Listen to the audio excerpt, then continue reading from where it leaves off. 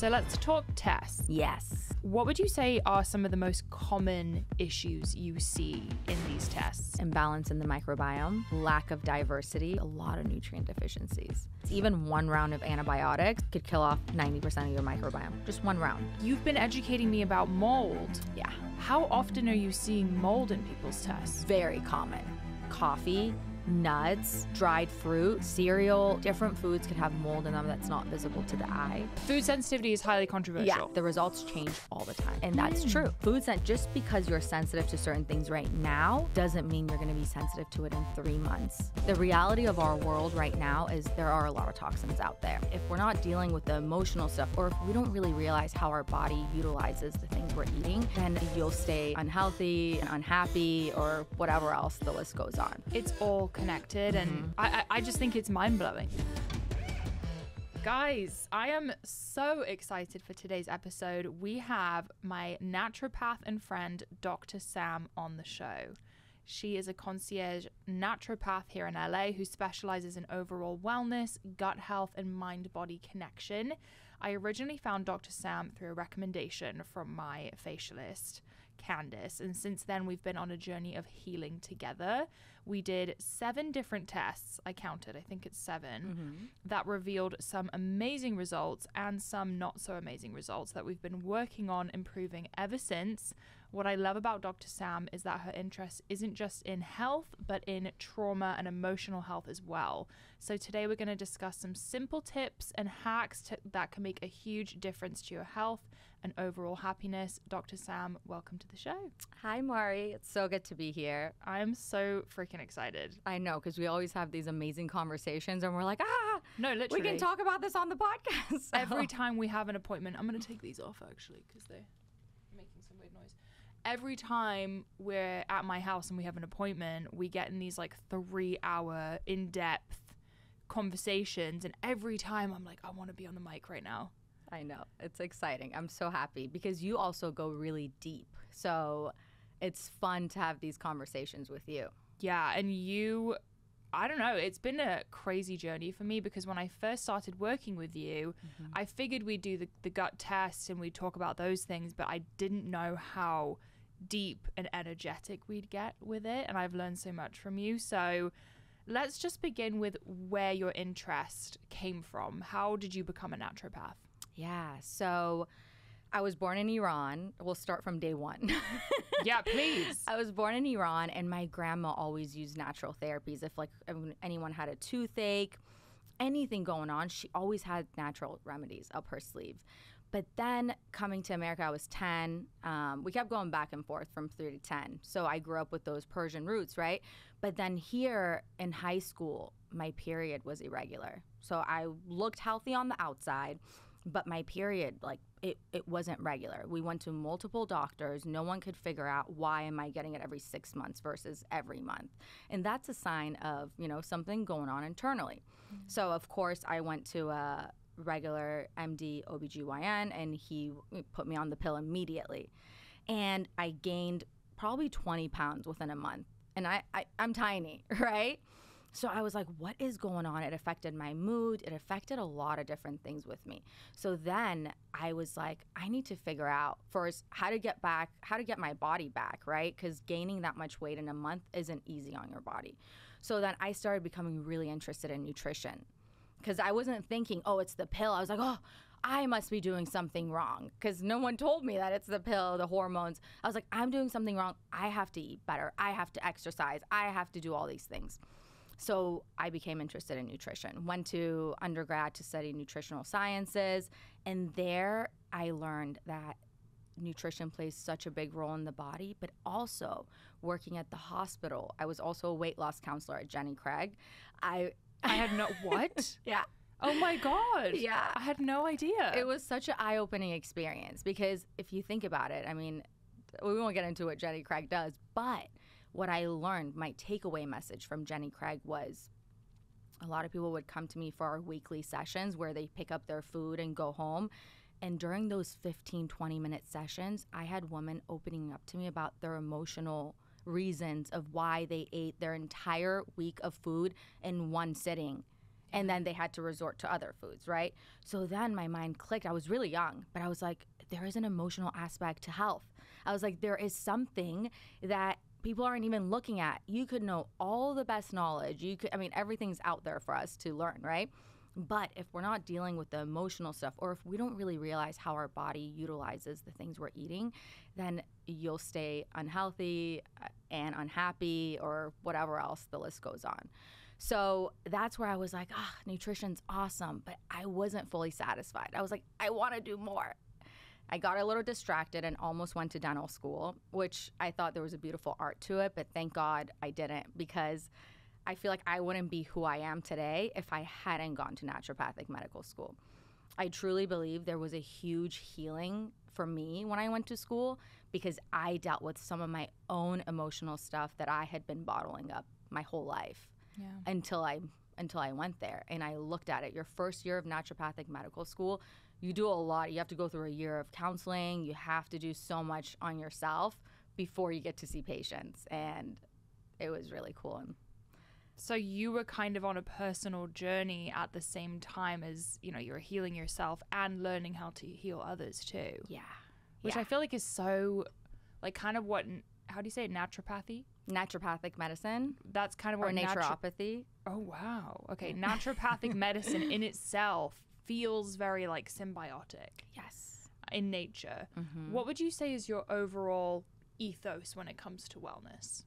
So I always look for what are the obstacles to health, Mm. right? Because we could be doing everything right. And if there's one obstacle in the way, all the amazing stuff you're doing won't clear your path. Hmm. So my whole thing is really understanding the person in front of me to understand what's getting in the way of us. Because the stack of tests right? We run them. I love it because when we look at health it's multifaceted. So i want to look at the physical body right? I want to look at what's going on with our biochemistry. But also i want to look at our mental health. I want to look at past trauma. How are we still holding on to that? Is there unresolved stuff going on? So it's the whole picture or what type of relationships are we in right now? What type of relationship do we have with ourselves right? What what's the conversation that goes on in our head? Mm-hmm. Those are the things where i'm like you could be eating the most perfect diet exercising doing all the things and it just doesn't matter. It doesn't so as you know i like to ask my patients why? Like why do you want to work with me? Why do you want to be at your optimal health? Is it what is it? Right? Because that the reason for me might be different than your reason. So i like to go down that path of what's your why of feeling your best? And also how do you live your health, healthiest and happiest? So powerful. And I think when you first sat with me, it was a three hour conversation where I was ready to tell you every supplement I took, every food I ate, all the exercise I did. I was I could rattle that off easily mm-hmm. because I am a very disciplined individual. And then you kind of kept asking these questions that were it's not that they were making me uncomfortable, but I was taken aback mm-hmm. because no one had ever looked into my eyes and said, What is the relationship that you have with yourself? Or how do you speak to yourself? Or do you ever take a break? And those were the questions where I was stumped, truly. And after meeting you and being on this journey, I have come to realize that I am, ever since I lost the weight that I did, I kind of became obsessed with living optimally. So I, I did that. I work out the right way, I eat the right way, I drink enough water, I take all the supplements. I'm pretty crazy when it comes to that stuff. But the other side is still so unhealed and i'm getting there. I'm learning and i'm learning to give myself grace thanks to people like you and my therapist. Um, but it really is it's a it's so important. It's a, it's a massive piece of the puzzle and if we don't talk about it there's a missing piece. And i almost wonder like with regular doctors that conversation isn't being had. Yeah, yeah. And I want to say something about you, by the way. You're probably one of the most dedicated patients I have ever had. You are so on top of it. You are just like, it's not a front that you're putting out there. It's you are the most dedicated. You're like, I'm doing this. You create a list. You have a protocol that you follow. If I tell you to do this, you're like on it. So kudos to you. Like you are doing incredible. I want you to know that. And even on the emotional side, like during our first visit, like you had just met me, right? And I don't always like I I watch to see how the person in front of me like where are they at and how far can I push? Mm. Because I told you this during the first visit after we were done. I was like, "Thank you. Thank you for being so open. Thank you for being so willing and vulnerable and sharing so much because it just shows how ready you are to go through this journey." Yeah. So, I want you to recognize that about yourself too.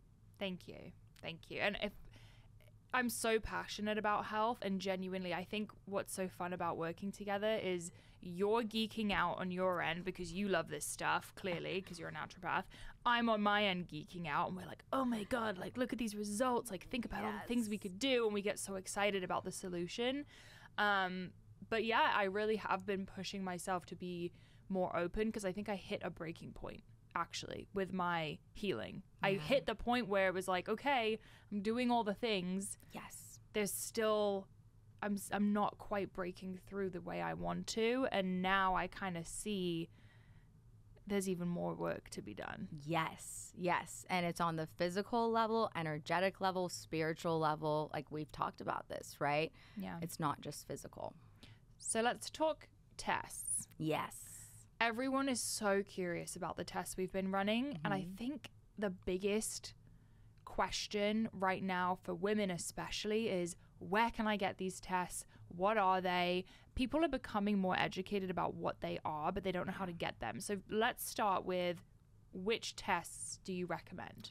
Yeah. So it all depends on what's going on with the person and the journey they want to go on, right? Some people come to me and they're like, I'm only going to start with one test. And after hearing their story in the first visit, then I choose what's the most appropriate thing to do.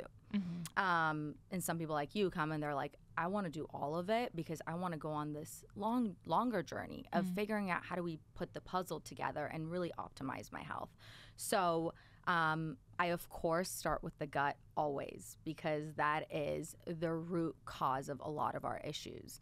Not only are the foods that we're putting in our body are they not grown in the same soil that were grown in 100 years ago where we're getting all these nutrients, but also there's a lot of pesticides and chemicals and things added in there which causes gut issues and gut permeability, which then causes food sensitivities, you know. So we want to look at the how is the status of our gut, our microbiome? Do we have enough diversity? Are we avoiding things too much that decreases our diversity? Like, for example, if we're not eating enough fiber, it's not feeding the right microbes, right? Mm-hmm. So I typically start with the gut Meaning poop test. poop test. Yes, yes. I start with this special poop test that we do, which is mm-hmm. everyone's favorite. It's terrible. Oh, it's awful. I'm like, wear three masks when you do your poop test because it's awful. Greg is actually he has a test waiting for him at the mm-hmm. house and he is, not doing it.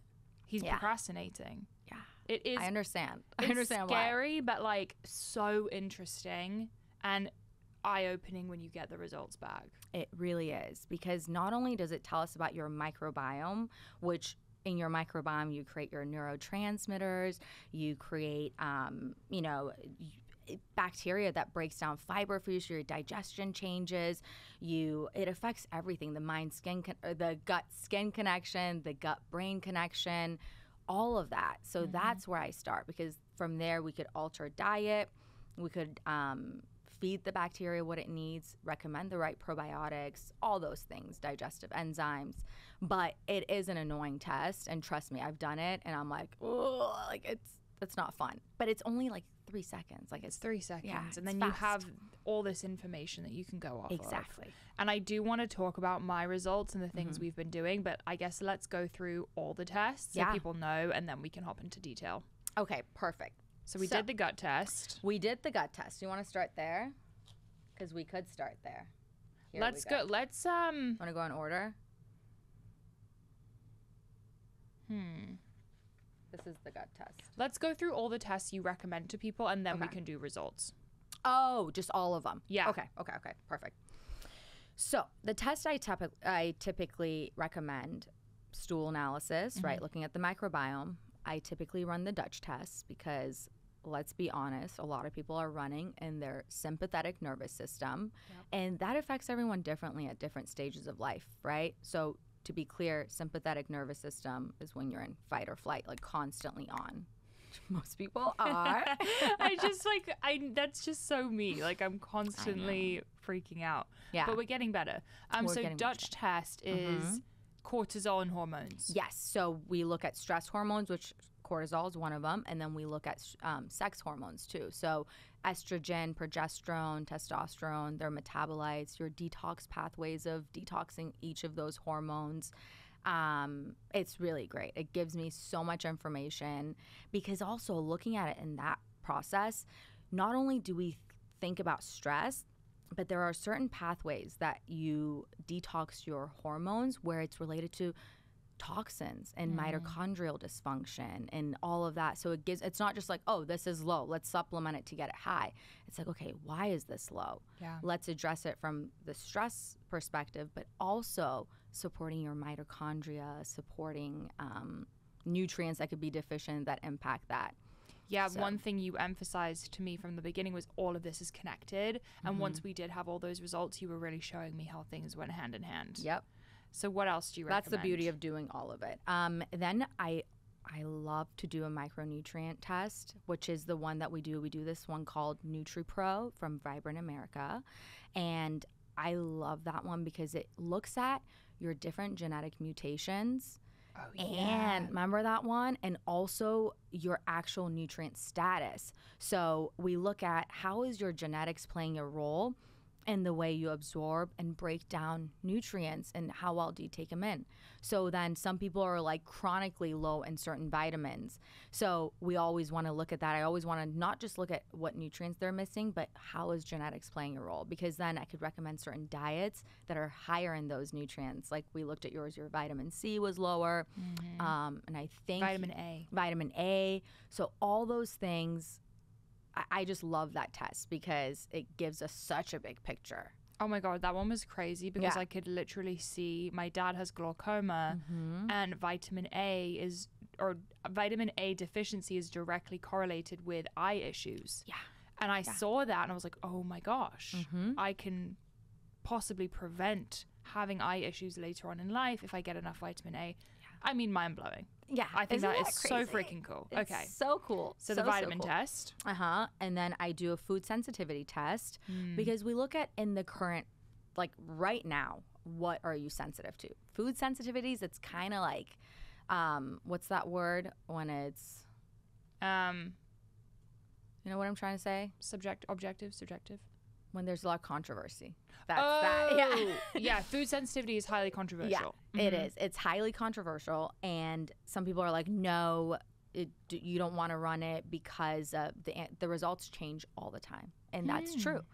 Food sen- just because you're sensitive to certain things right now doesn't mean you're going to be sensitive to it in three months.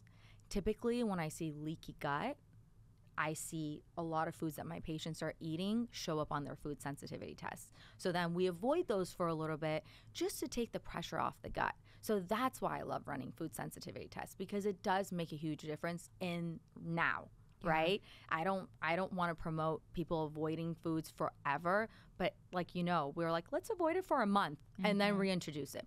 Just to take the inflammation down, just to allow the gut to heal on its own Yeah. while we're doing all the other things to heal the gut. So that's where I stand with food sensitivity testing, and it makes a huge difference in people's skin and energy levels and chronic headaches. I mean, Yeah, and skin was a big uh, issue for me, and honestly, we're still fighting with it right Yeah.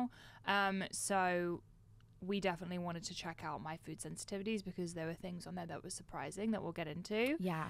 Then we also tested for toxins, correct? Yes, yes, environmental toxins. 'Kay. Because as much as I hate to talk about this, as much as I'm like, I don't want people to feel to be scared or to feel like they have to live in a bubble, but that is the reality of our world right now is there are a lot of toxins out there.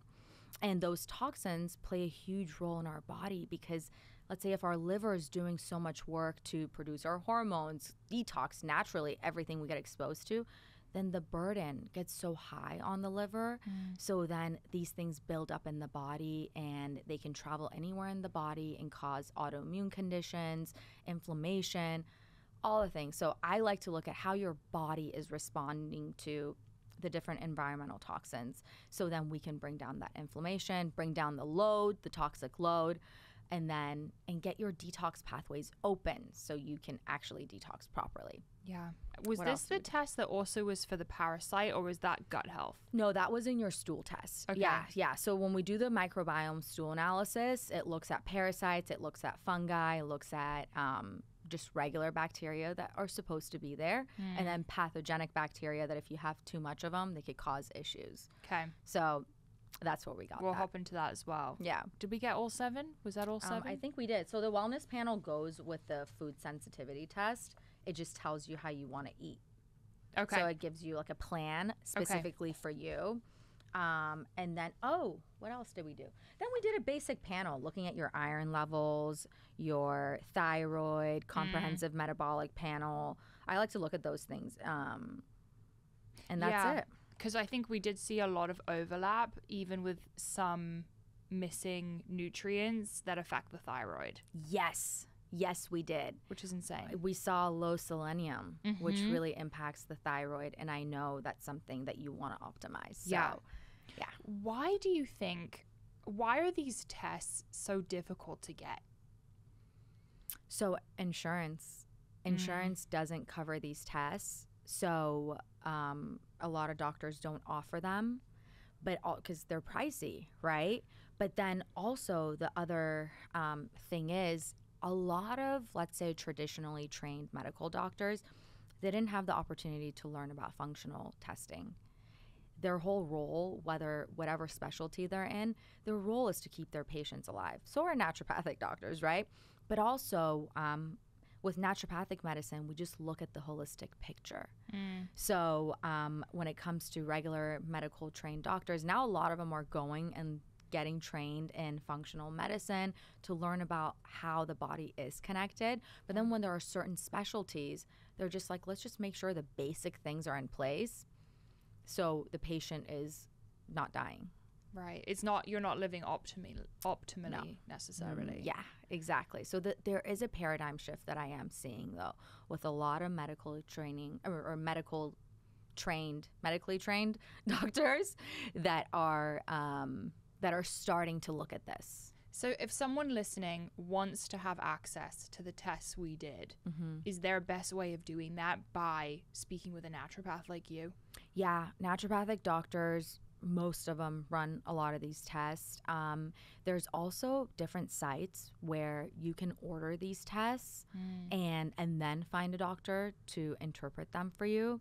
Um, I don't recommend running them and just letting them sit there or trying to interpret them yourself because there is so much detail that some of these tests look like a whole different language. Oh, it's insane. I I remember when they came through and I was so excited and I logged in to see and I was like, "Oh, I'm going to need Dr. Sam." I couldn't figure out what Yeah. any of it meant because it's a lot of long words, a lot of sciencey words. You can kind of figure it out, but you really need a, da- a naturopath to talk you through it. Yeah, yeah, because also even the Dutch test, you know, I mean that one looks like a whole other Yeah. alien language, but Yeah. But like even if you're like, okay, I can read that I'm low in estrogen or testosterone. Well, there's so many reasons you could be low in this and you want the person, your provider, to really explore that with you. Yeah. Because you don't want to just take, let's say, bioidentical estrogen or you don't want to just put a patch on why Yeah. you're low in certain things. Yeah. That would just be like taking medication. I, I look at that as like, okay, no, we need to get to the root cause of it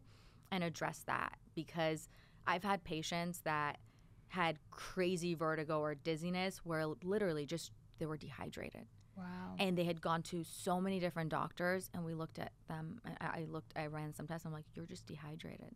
Hmm. So like there are things like that where like you don't even need to go that deep right? And I think seeing the numbers in front of you and having a very clear understanding of what's going on in your body helps so much when it comes to like getting yourself motivated to make a change because when you can see oh shoot like I was low on selenium that might be affecting my thyroid is that what it's called selenium yeah yeah. Okay. I'm low on selenium. I want to add that in. I can see that my gut is damaged Mm-hmm. and that makes me feel like I want to heal it. Yes. When I when it's all up in the air and I'm not sure and I'm just having symptoms and people are telling me to go on medication, Mm-hmm. it's so much less motivating to me and then also I think it sucks because when someone's struggling with a health problem and they are deeply rooted in it, whether it's acne or gut issues, fatigue, you're so desperate that taking a pill and taking kind of an easy route is the more attractive method. Like even when I was younger and I had such bad acne and I was mm-hmm. offered antibiotics, I was like, yeah, give me anything you can to make this better because it hurts physically and then I'm it, it's an emotional struggle too. Yeah. It knocks your confidence. So this route is more challenging and takes more work, but it's going it's more it's a long-term solution. Yes. And that's the thing. It's a long term solution and you're actually addressing the root cause. So I always tell people, I'm like, are you going to be patient with this process? Yeah. Because we're really undoing things we've done for so many years and really like building up the body and just optimizing it. So, And tweaking. yes. Because I feel like even I saw such great results with my skin in the first mm-hmm. couple weeks, and now I'm having this breakout again because I was sick and because I ate off my plan or whatever it may be, and now we're kind of tapering it back and figuring out how to fix it. Um, so you do need to be patient, and you need to kind of trust the process and um, do what feels good and take breaks. What would you say are some of the most common issues you see in these tests?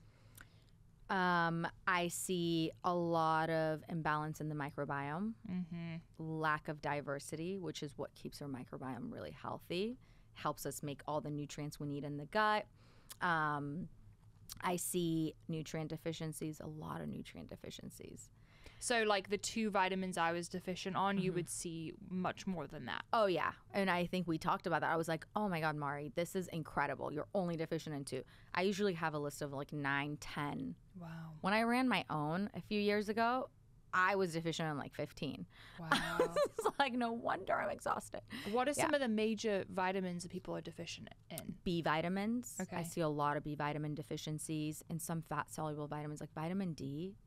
I know a lot It- of people are deficient in A lot of people. Mhm. And the fat soluble ones, you don't want to just guess, you want to test because those, if you just, or if you're just taking vitamin D and you're not sure where you're at, that gets stored in your body and it could become toxic. So, what does fat soluble mean? so there's different categories of vitamins B vitamins, vitamin C, those are water soluble. And then fat soluble is so they get absorbed better with a high fat meal. Um, they get stored in our body. Water soluble means your body uses it and you just excrete it through your urine. Got it. So vitamin D can get stored. Yeah. So vitamin D, A, vitamin K, um, AD, and vitamin E. A D E K. Oh, Yeah, those are all fat soluble vitamins. So they are easily absorbed through um, our diet, but with a high fat diet. And then, um, and you always want to test them. I don't ever give anyone vitamin D without knowing their levels because that could become toxic. And I've seen people where their vitamin D, they've been taking it for years and it's so high. And I'm like, ah, let's like, get off your vitamin D Mine was like Yours was borderline. mine was almost too high. yeah. Because I do take a lot. Yeah, which is great. It's so important for mood. It's so important for memory. It's so important for hormone production. Yeah. So, um, it's great that you're on it, right? But you always, I'm like, when I put people on a supplement, I test three months after just to see how their body's taking it on and how they're managing it. And so we don't become toxic. How many issues do you see with hormones? A lot. Hormones are one of the main, because, and we have to think about it this way too. A lot of people come to me because they have either acne or they have um, fatigue, which could be hormone related. So they're coming to me with issues, right? So then a lot of times their hormones aren't actually like, I probably see like two out of 10 actual, like, great, your hormones are being detoxed properly. Because that's the thing, we're not just looking at levels, we're looking at the pathway. So I would say no one's Dutch test is perfect, right? Because there's always something to work on when it comes to stress, our stress response, um, our diet, mitochondrial support. I mean, we live in a world that it's changing a lot. It has changed a lot.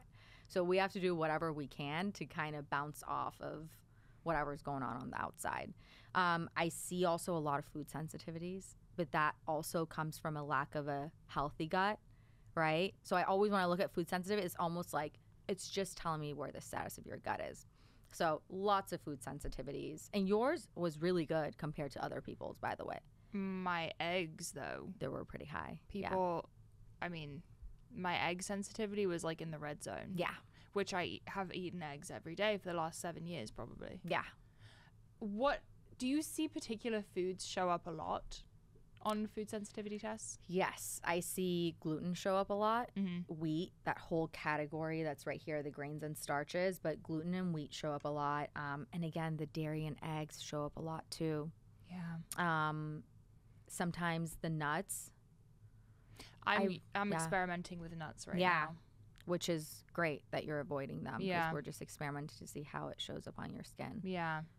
Um, because I feel like they may be inflammatory. Because the thing with nuts is, I, I've mentioned this before, but I feel like ancestrally, if we were to go eat nuts, we'd have to peel each one and it mm-hmm. would take hours to eat Yeah. a bunch of nuts, right? We'd probably have a couple, like a small handful. Yes. But now we drink almond milk, we put almond butter on everything. Every protein bar is full of nuts. I did a an analysis of my day. Mm-hmm. I was eating nuts all day, essentially, without even realizing it. Yeah. And and you know what the other issue with nuts is?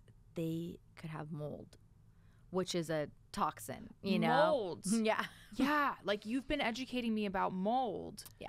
How often are you seeing mold in people's tests? Very common because not only could you could you be exposed to it at home and we're a lot of homes have mold, right? But also through food. So coffee, nuts, um, dried fruit, cereal, different foods could have mold in them that's not visible to the eye.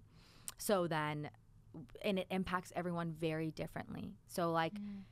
for example, I have issues with my detoxification pathway. So if I'm in a moldy place, within probably three hours, I have a migraine or I don't feel good or I'm like, oh my God, I have brain fog. I can't function. My mom could probably live in a moldy home and be completely fine because she doesn't have the same issues as I do, right? She doesn't have the detoxification issues that I have. So it's everyone's different or my sister like we've all been in the same area before but like they're like completely fine and i'm like oh my god i can't function like i so everyone responds to mold differently but again it's still a toxin and if you have issues with detoxification your if your detox pathways are blocked then that stuff is accumulating in your body and that's where the issues start Is that like when someone says they have candida? Candida is different than mold, but it's in the same category. So if you look at it from Oh. like a phylum perspective, I don't want to get too scientific with the go back to biology class and No, this is good. high school. What is phylum? What's phylum? So phylum is like looking at in biology class they tell you like we're looking at species when we're looking at um, like mold or the different species of mold or bacteria, but then it goes up to like phylum, kingdom, um, Mm. class. I don't even remember. I remember. Okay, Do you remember yes. that? In it's all coming back. Yeah, it's all yeah. coming back. Okay, so, So- candida isn't technically a mold. It's not technically a mold, but they're in the same category. So, like when I do a stool analysis in the phylum of like Ascomycota, there could be fungi, there could be candida or mold if I see that in their in stool. That wasn't detected Wow. on yours. so I worry. didn't have that. Yeah, you didn't have that, so we didn't talk about that. Um, but that's another way of seeing if someone has mold in their gut. Why do you think these issues are popping up for people so frequently? Hormonal, fungi, all of it. I personally believe it's the conditions of the world we live in. Again, toxins are on a rise. Um, our lifestyle, we're multitasking all the time. We are under chronic stress all the time, whether we know it or not. Like, I truly believe that 99.9% of the population is living under stress, and we're just not aware of it because we've gotten so used to it there's a lot of people where I do like let's say if I'm doing an IV there I put lots of magnesium in there and if they get relaxed they're like you know I just didn't like that. I was so sleepy. I'm like you're just relaxed. Like this is what relaxation is. It's like we don't even know anymore. we don't know what relaxation feels like and it's uncomfortable for a lot of people. So we are just running this world like when we're driving, I catch myself even. I'm like on my Instagram if I'm at a red light, checking my emails at a red light. Like I catch myself, I'm like, just why can't I just sit there and breathe? Yeah. Because 10 years ago, even, we didn't have social media to the level we have now, and we didn't have all the stressors in life and access to everything at our fingertips. So I think we're all in overdrive. And then that affects our detoxification, detoxification pathways, it affects our mitochondrial function. Our cells change based on those things. It's not just genetic. Your genetic responses change based on everything that's coming in. And I truly believe that the issue is the conditions we're living in. It's almost like being still is the most uncomfortable thing for everyone, Yes. myself included. yeah. It's the most challenging thing to not touch the phone, to just sit and be with your thoughts. It's like we're all avoiding something. Yes. We're all running away from facing what our problems, our thoughts, being alone, whatever it may be. Yeah. We're all escaping constantly, whether we're addicted to work or alcohol. Everyone has their own vice, right? For, for me, it's work, you Yeah. know. Yeah. Um, so whenever I get sick, I have this major mental struggle because I feel awful about myself because I'm not able to keep working. And I'm like, well, what am I without work? And then I'm forced to sit there and kind of confront that fear, you know? Yeah. Yeah. It's so true. And it's beautiful that you have that awareness, right? That you see that some people aren't even aware that they're avoiding anything. Mm. Like I talk to them and they're like, oh, everything's good. I'm working this, like, blah, blah, blah, blah. The list goes on. And there's no awareness of it. The first step is that awareness. And then slowly, you know, you've lived so many years in this pattern. And how do we change that? And it's with baby steps, I truly believe. Because if we go from one extreme to the other, it gets very uncomfortable and it might like you might get so uncomfortable that you never want to face it again or work with a doctor or practitioner that's willing to help you with that process Yeah. then that's why I always say take baby steps. Even with meditation, right? I'm like, set a timer for one minute. We've talked about that, right? I'm like, journaling, set a minute for one minute, three minutes, whatever you want to do, just to introduce that stillness and that processing of our thoughts, because that absolutely impacts our body. Yeah, I love the baby steps concept. I love it with fitness. I love it with anything in life. And you recommended to me setting a 15 minute timer to read, and I've been doing that. Yeah. And I think the timer now you you told me I'd get excited to mm-hmm. keep going, and I'm, I've reached that point where the 15 minute timer goes off, and I'm like, oh, like I, I was really enjoying that reading. Um, and yeah, I think that's a great tip for anyone listening who wants to be more still and, and try and get that to be a part of their routine. Absolutely. So let's talk about uh, my tests Okay. and what we are focused on, what looked good, what didn't look good. I guess we should start. What do you think with the gut? I think let, what we should do is tell your listeners about the overall picture that we're working on because everything's connected. Yeah. Right? So we did run these tests and they are all so connected. So we can start with the gut and emphasize why certain things are coming up and how we're going to see the same things probably show up on your Dutch Yeah. and on your micronutrients. Your micronutrients look really good because of the healthy lifestyle you're living. So that's one thing that I, you know, like they look so so good. At least we like, got that. well, you got that. Like I again, I was in awe. I was like, wow. I've never seen someone with this little deficiencies because you have been on top of your supplement game and you really take care of yourself. Everyone So- should go check out greens if they want that. that Exactly. good vitamin test coming through. Yes, yes. So, um, with the with the microbiome analysis, how much detail do we want to go into? Just go for it. Go for it. Talk about it. I'm not holding anything back, guys. I've said so much on this podcast at this point. I'm like, you know what? I'm sharing it with. I love my podcast audience, Yeah. and they're going to be into this. So let's just go for it. Let's talk about it. So, when I get this test back, I usually, this is the microbiome analysis. I start with the report summary, and it tells me a lot of what we're going to be getting into down the line. But the major things I look for, one of them is alpha diversity, which is the number of species someone has in their microbiome. And the more diverse their diet, and when I say diverse, that's like the more fiber they eat, um, the more the less stress that they have and less antibiotic use and um, environmental toxins. The lower all those things are, the better the diversity. And you told me that antibiotics I took six years ago could still be having an impact, correct? Yes. If you take antibiotics and you don't do anything to repair the gut afterwards, because even one round of antibiotics could kill off 90% of your microbiome, just one round. Wow.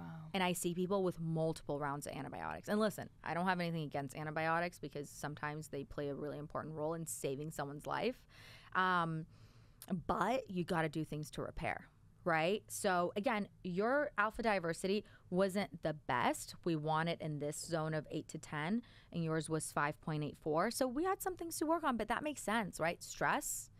And I think at that point you were avoiding some greens, Mm-hmm. right? We started adding more fiber into your diet after this, right? And I wasn't eating a lot of carbs. Yeah, so you were avoiding point. that. Yeah, and I love increasing complex carbohydrates, which are fibers, different types of fibers, right?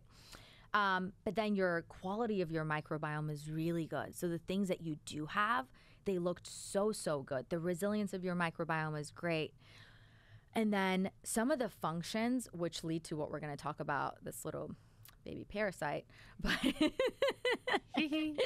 some of the functions right here tell me a lot about how your gut is doing. So, looking at the way your body's breaking down your foods, which we're going to see on this page, because it wasn't flagged because it wasn't terrible.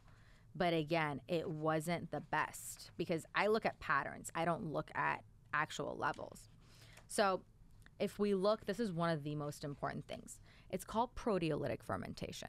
Proteolytic fermentation looks at how your body breaks down proteins. And um, if I see this trending high the way it is right here, I know that your body's having a hard time breaking down protein or you're eating too much protein. Well, I love protein, right? I want someone to have a well balanced diet, eat enough protein. But the issue is if these proteins don't get broken down properly, then they're going to make all these byproducts like ammonia, hydrogen sulfide, which cause gas, bloating, damage to the gut lining. And that could be literally the root cause of all of it. Hmm. So typically, then I look at lifestyle. How come this person isn't breaking down their proteins? Why do they not have enough stomach acid to break down their proteins? Right? I don't want to just think, hey, I'm just going to give you some digestive enzymes and leave it at that. Yeah, you could be on digestive enzymes for the rest of your life. But I'm going to be like, hey, Mari, what state are you in when you're eating? Because I know you eat a high protein diet. Are you like, that was one of the questions, right? I was like, are you in a rush? Do you take a moment to just connect to yourself when you're eating? What are you doing when you're eating? Because your body, you're a young, healthy woman, your body should be making the digestive enzymes that you need. Yeah. And if you're not, I want to get your body to do it. Yeah. So then you could eat bitters. Like I talked to you about looking at your plate before you eat a meal and really connect to the colors, smell your food. And like just I say gratitude statement Mm. before eating my meals. Like it doesn't have to be related to the meal, but typically it is. I'm like, "Oh, I'm so lucky I get to eat." Yeah. That by itself, yeah. I'm lucky I have food in front of me. That takes me out of that place of let's say stress or the last call I had or all the things I have to do with for like the rest of my day and gets me present. So that in that state I can produce the right enzymes. I love that. I think that's so important. And I was really bad about that, honestly. Mm-hmm. I'd be like, oh, I've got four minutes between this meeting and my next one. Yeah. Throw it all in a bowl. Maybe I'll stay on my laptop. I would eat during meetings sometimes. Mm-hmm. And now I really try when I can to go and sit outside, get some sun, no phone. Honestly, be by myself because I'm around people a lot all day. Yeah. So to be alone and eat my lunch has been really nice for me. And I think that's such a good tip for anyone listening who wants to improve digestion. Exactly, because that's where a lot of it starts. So let's, when we don't have enough enzymes, right? If we're living in that state like we talked about, then other pathogens get an opportunity to also get to your colon. Yeah. So, for example, I see a lot of people with um, things that belong, pathogens that belong in the mouth or bacteria that belong in the mouth in their stool. And I'm like, how come they didn't kill that off, right? Your stomach acid should have killed it off. So that tells me also that they don't have that. You don't have that issue, but you do have a little parasite. So Thanks for bringing that up. Guys, I'm here to announce the newest guest on the show, my parasite, baby B. It starts with a B. Baby B. So here's the thing about parasites. We live in an environment like our gut has parasites, candida. We have all these different things living there. It's when they get too high that it's a problem. Yeah. Because that means that your own gut bacteria wasn't able to maintain a healthy balance. So when you first told me I had this parasite, I thought I had a massive worm in my stomach. Yeah. Not the case, No, correct? not the case. Yeah, we have this visualization of like these big worms coming out of our butt. no, literally. Yeah. I was like, oh my god. yeah. But it's really not the case. It's just like a The- bacteria. yeah, it's Okay. it's a form of bacteria. It could be tiny, and you know, and we assume it's this massive, scary thing. But really, what it tells me is that we need to create more balance in your gut, and based on the rest of your results, it's like sometimes with this parasite, there's also research that it doesn't cause that much damage to Yeah. the gut. But to me, I look at the big picture, like how come this had an opportunity to grow. So again, lack of digestive enzymes, which it comes from stress. So while we're doing the supplements that we are doing with you, we also want to look at lifestyle. Yeah. And you could make those tweaks and it could be great. So things we're doing to heal the gut. Mm-hmm. Lifestyle for sure. Working Yes. on that stress. What supplements are we taking? I want to give people like a little insight into how we're healing the gut. Yeah. So again, lifestyle that we already talked about. We're also doing um, a we're doing a little cleanse for the parasite. We're doing this thing called parabiotic, which again at first, if you're if the parasite is super comfortable in your gut, it's gonna like react and you're gonna get bloating and you're gonna get uncomfortable. But we want to ease our way into it if that happens. We're also taking a binder. So when the die off happens, you could bind to those toxins and excrete them properly. We're also doing, I do a lot of liver support when I work on the gut because the gut and the liver are connected. Yep. It affects how your body is um, detoxing the things that we're killing off as well. Um, what else? And it affects digestion. Yep. So that's how we're working on your digestion with the liver support. Um, what else are we doing for your gut? I'm trying to remember. I think we're just introducing more diversity. Yes, Yeah. and we're introduced. We worked on your diet, Mm-hmm. and we get. I gave you this supple- this supplement called FODMate, which really helps with breaking down high fiber foods for people that have been eating more of a high protein, high fat diet. Their body will be like in shock when they start eating fiber because they don't have the bacteria Yep. to break it down. Yep. Um, so I like to support my patients in that first month of introducing fiber with the supplement to help them break it down. And then within a month, their body gets used to it. They start growing the bacteria that actually do those things. Like there are certain bacteria that you're low in, Ruminococcus bromii and flavefaciens.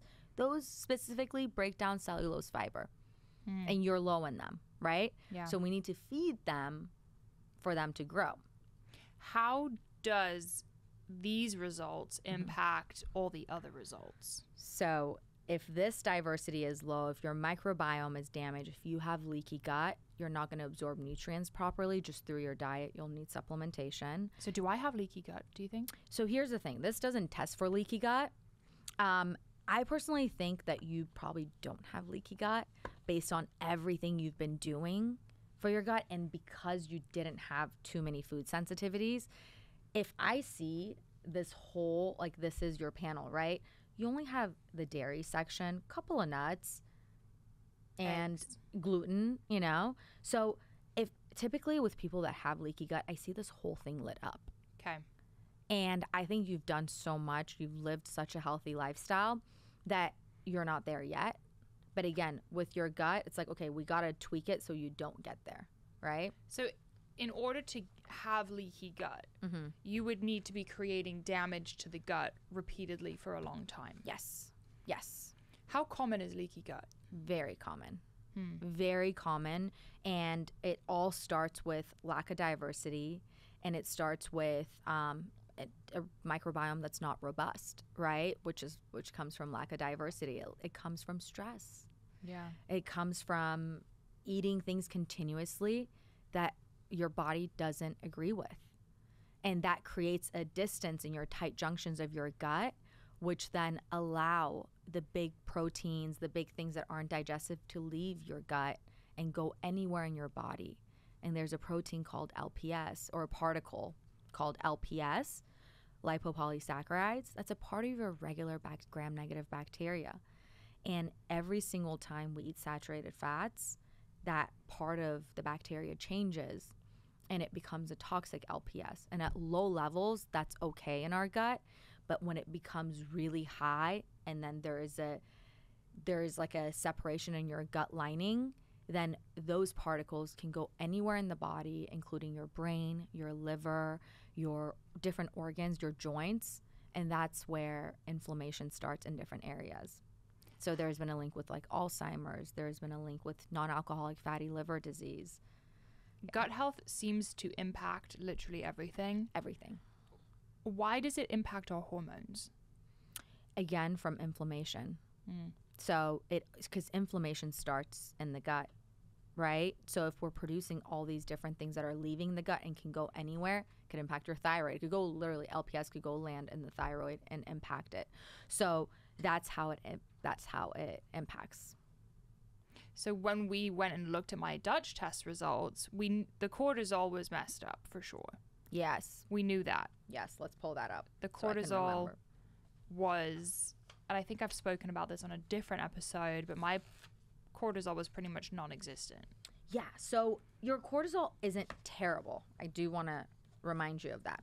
Not extremely terrible because I've seen worse where like people have really high cortisol at nighttime when they should be going to sleep and they have insomnia, right? So I guess I'm jaded a little bit because I've seen so many results that I'm like, this is not that bad. But of course, we're going to work on it, right?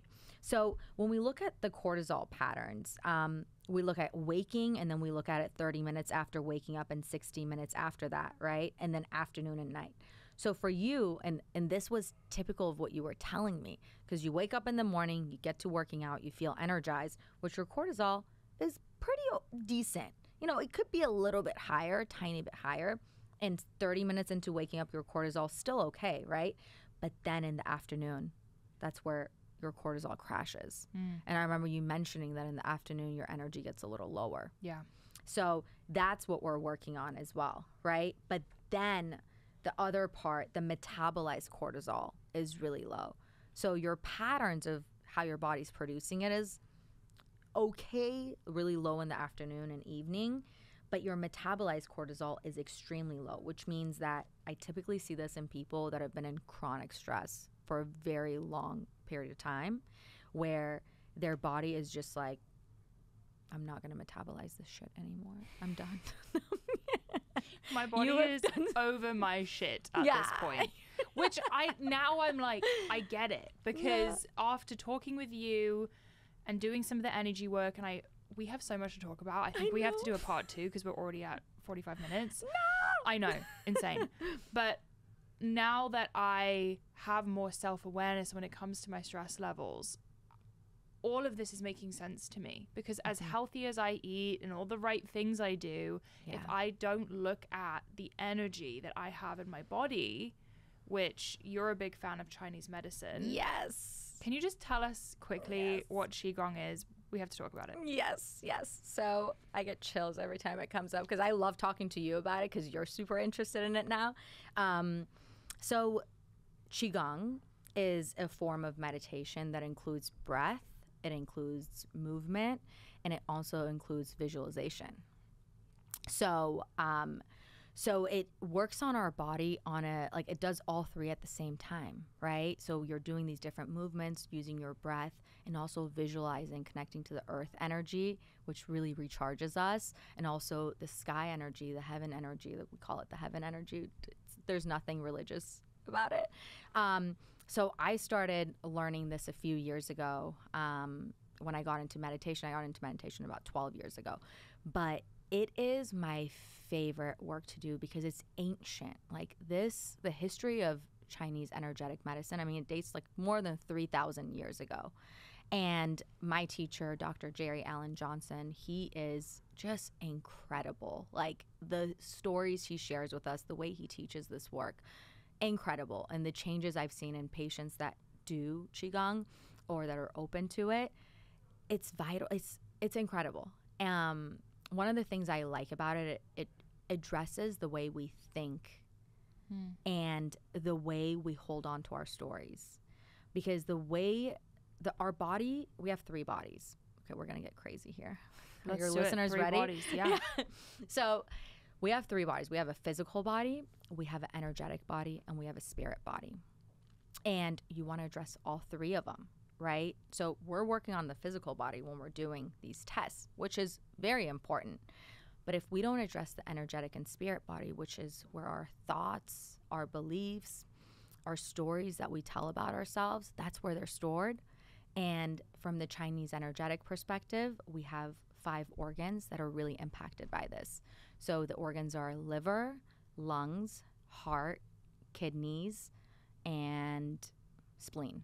Mm. And each one has like a virtuous energy that it has that like before you were born into this world that's the energy it carries and then when we're born into this world with all the ego stuff like this is the world we live it's it's a normal part of being a human right Yeah.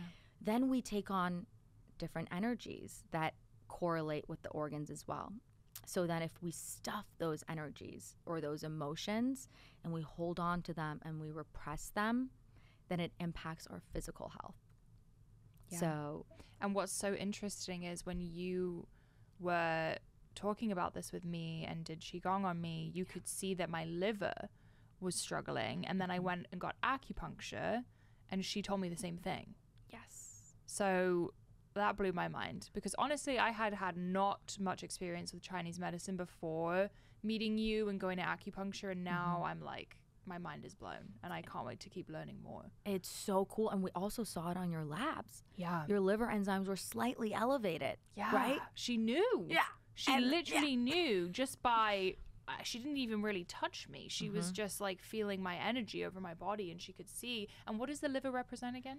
Anger, resentment, disappointment makes you more irritable. like you jump, goes from zero to a 100. Yeah. Yeah. And a lot of us, anger is a big thing that we all repress because we associate it with just a bad thing. But anger just shows you where you need to set your boundaries. But I think from a younger age, we've all been taught that no, you can't get angry. And then we all learn to suppress this emotion. So there are healthy ways to express our anger, right? And that's what we need to learn to do. And in Qigong, like let's say I do the table work on someone, then we could work on letting go of anger through the different exercises. So in the mm. morning, I do the five yin exercises to kind of regulate all my organs. And then sometimes if I work on my liver too much, then I notice I'm like, oh my God, I, a lot of anger is coming up. And then it's like, then I become aware of how much I have been suppressing. Liver is a big one for me too. And by the way, when our liver gets impacted, it also shows up on our skin and it impacts our hormones as well. It's all connected, Mm-hmm. and I can't believe. I, I I just think it's mind blowing that. You know, yes, we can take the supplements, we can change the diet, we can do all the things, but if we're not working on the energetic body too, we won't see the results we want. Absolutely. And and listen, I am a big believer in that because of the type of patients I see. I see a lot of healthy patients that are living a healthy lifestyle, of doing all the things, mm-hmm. right? And then they're like, but this one thing is not improving. And when we do, you know, we address the physical body and then we go deeper and talk about okay, let's talk about what happened when you were seven, for example, right? Or let's talk about what happened when you were 10 or 12. For me, it was seven that I'm still holding on to. Yeah. you know? And it's like, how are we expressing that? How are we dealing with it? Because another thing that I learned in Qigong and Chinese energetic medicine was that if we have any unresolved traumas that we haven't really let go of, forgiven, really looked at, then anything that slightly pushes that same button of like boundaries recreates the same emotions as that trauma happening again. Yeah. So that is what's happening in our body on a chemistry, on a biochemistry level as well. Because our thoughts, our beliefs are just recreating that. And I I look at it this way. Your body wants to help you heal. Like your body is your biggest advocate. It's like it, it tries to keep you from dying, right? It's like let's do what we can to keep her healthy. And I believe that certain times certain situations come up for us that allow us to look at the things that are hidden. So, if we have a lot of anger in us because of some repressed emotion or repressed trauma that happened that we're not looking at, situations will come up that show you that you have that anger. Yeah. And we almost recreate it on our own Yes. Because Yes. it's sitting in there and we keep recreating it and reliving the trauma. Yes. Dr. Wayne Dyer is one of my f- most favorite people. And he used to say this. He would say, if you squeeze an orange, you're going to get orange juice. You're not going to get apple juice. So if you put a person under pressure and they get angry, it's because there's already anger in them, Mm-hmm. right? So we need to look at why that's there. Yeah. You're not going to get joy out of someone who has under pressure. If joy comes out, you Yeah. know, it's it's then they don't have any of that. But most of us have it in some sort of way. And again, trauma doesn't have to be something massive. I was listening to this podcast yesterday that they were talking about she was like bullying was her trauma, right? And that impacted her. So every single time she gets let down, that whole traumatic event comes up. Yeah. So, anyway, I could talk about this for I know. hours. Me too. And honestly, I think we need to do a part two because we didn't even get to the fan questions and people had so many good questions for oh. you. So you'll have to come back. Okay. Now it's time for the question we ask every guest. I mm-hmm. started this podcast because I believe everyone's pursuit of wellness looks different. What does wellness mean to you? Wellness means to me, wellness is peace to me. Wellness is when I'm energized, at peace, and just grounded. That's wellness to me. Love it. And I get that with my morning routine. Oh, yeah. Yeah. Yeah, you're big on the morning routine. Yeah. And you got me back into journaling. I've gratitude journaled every day since our meeting, Mm-hmm. and it's incredible. I love that. We need to do a whole episode on morning routines. I know. We have so much more. Okay, we literally need to do a part two, part three. Where can people find you online? Like, if people wanted to chat with you or Mhm. maybe do a consultation, I know you're pretty much only in LA right now, but I'll, I'll hand it over to you. Yeah, so on Instagram, it's dr.sam.nd. Um, my website is safawellness.com. And yeah, I do virtual consults. I'm licensed in California and Washington state. So those are the two places I could see patients. Um, a lot of people reach out for just um, not give not doing all these labs for them, but just to understand what's going on. If I could give them tips, we could also do that. So reach out and I can help guide you. Either find another doctor in your area or in any way I can. And and this isn't done yet, but I'm working on creating a um, platform where people can order these tests and then book a consult to just review them and I- to understand their body better. I think it's so needed. I think Yeah. everyone listening will be so excited about that. And I will be sure to link your website in the show notes for anyone looking. Thank you, Dr. Sam. That was incredible. Thank you for having me, Mari.